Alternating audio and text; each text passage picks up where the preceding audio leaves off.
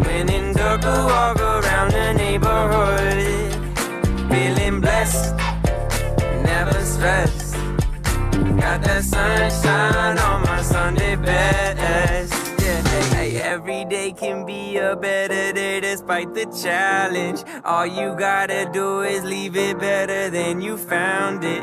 It's gonna get difficult to stand, but hold your balance. I just say whatever, cause there is no way you're around it. 'cause Everyone falls down sometimes, but you just gotta know it'll all be fine. It's okay. Uh-uh. It's okay.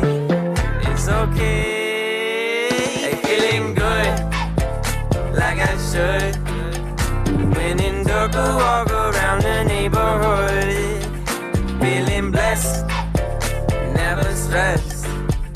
Got that sunshine on my Sunday best. Good morning, Great Brook Bobcats. I'm Bob. And I'm Kat. Today is Wednesday, March 31st. Can you believe it's the end of March already? And now, please rise for the pledge. I pledge allegiance to the flag of the United States of America and to the republic for which it stands, one nation, under God, indivisible, with liberty and justice for all. And And- now for some announcements. And now for weather. I wanna know, have you ever seen rain coming down Sunday?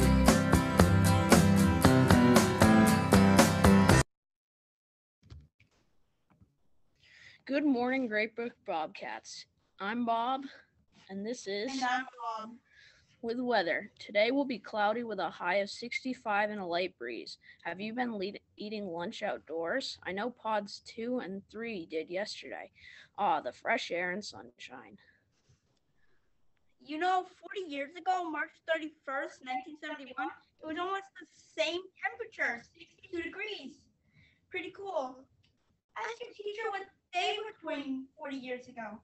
Ah, I bet they have some amazing stories to tell about the olden days. And now, for word of the week.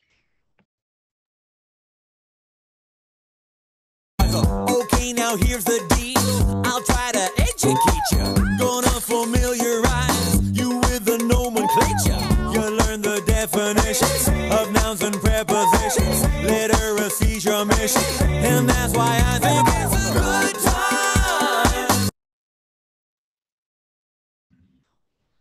morning. This is Word of the Week with Kat. This week's word is ignite. It means to cause to burn. We've been talking about literal burning, but ignite also means to spark someone's curiosity or make them jump into action. Maybe Among Us ignited a love of video games in you, or Harry Potter ignited a love of reading. Ask Ms. Doherty what ignited her passion for learning about the Civil War, or Mr. Bulldog's love of amazing button down shirts. Ignite. Can you feel it? And now for jokes.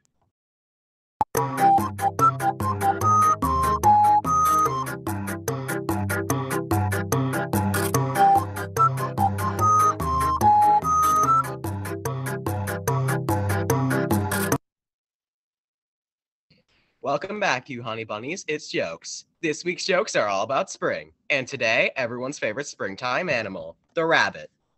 What proof is there that carrots are good for the eyes? You don't see rabbits wearing eyeglasses. What do you call a group of rabbits hopping backwards? A receding hairline. How does a rabbit throw a tantrum? He gets hopping mad. What do you call the Easter bunny the day after Easter? Exhausted. And remember, jokesters, which side of a bunny grows more hair?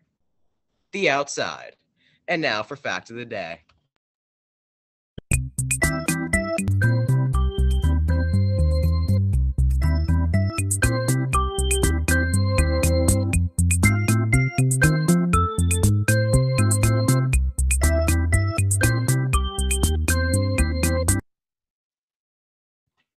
Hello, it's Fact of the Day, where we tell you something weird, interesting, or important.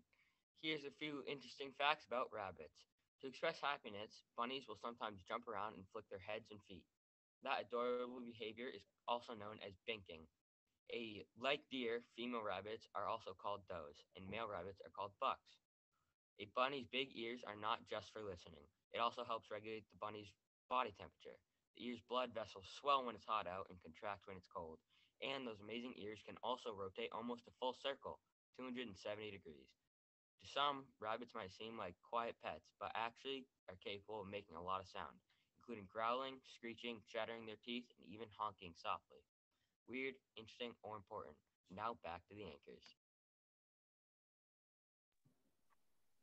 Happy birthday today to Wesley, and happy belated birthday to Mr. Hale. We're so glad you were born. Respect, responsibility, and safety. It's the Bobcat way. We're four pods, but one Great Brook community. Have a great day. Bye.